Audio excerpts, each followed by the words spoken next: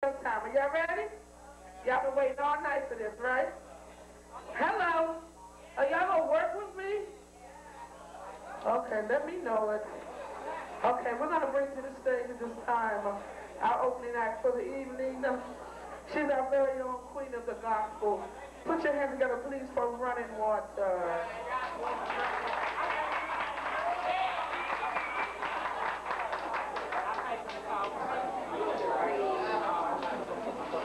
Just